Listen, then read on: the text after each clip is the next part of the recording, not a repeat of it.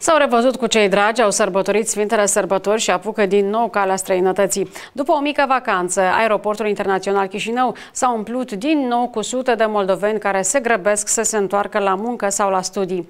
Cu lacrimi și îmbrățișări, așa i-au petrecut moldovenii pe cei apropiați, sperând că într-o zi revenirile acasă vor fi mai libere și fără pericolul de infectare.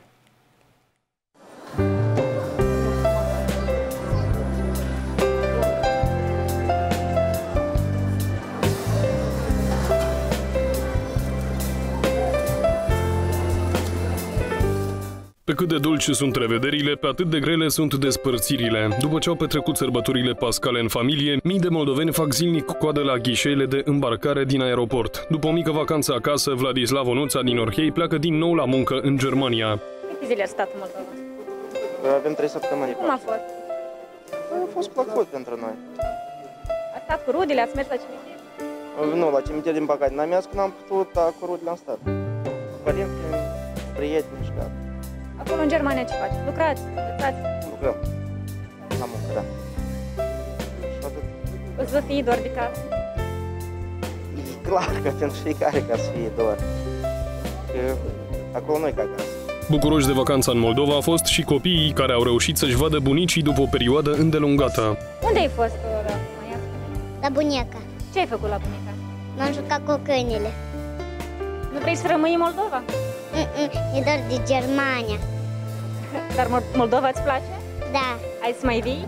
da. O să revenim în, în fiecare zi în vacanță.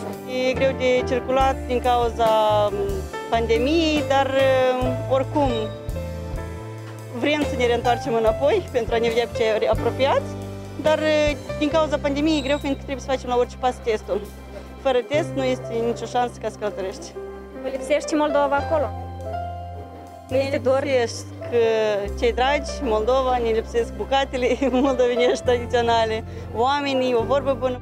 Ioana Moraru a venit tocmai din Cantemir ca să-și petreacă feciorul în Germania. A fost dor? foarte.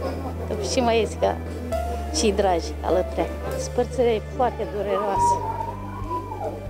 Când o să-l mai vedeți?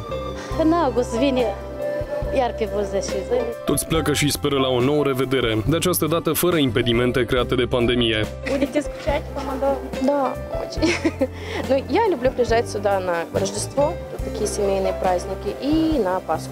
Am petrecut și uh, cei mai bună prietenă. Ne-am salutat, nu ne-am văzut un an. Și Domnul știe când ne vedem, dar sperăm la bine. Oricum, acasă, acasă ne tragem, acasă venim. Acolo ne ducem pentru bani, pentru a întreține familia. Potrivit Poliției de Frontieră, săptămâna trecută, fluxul de pasageri pe sensul de intrare în Moldova a crescut cu aproape 90% în comparație cu alte șapte zile precedente, înregistrându-se aproximativ 129.000 de traversări.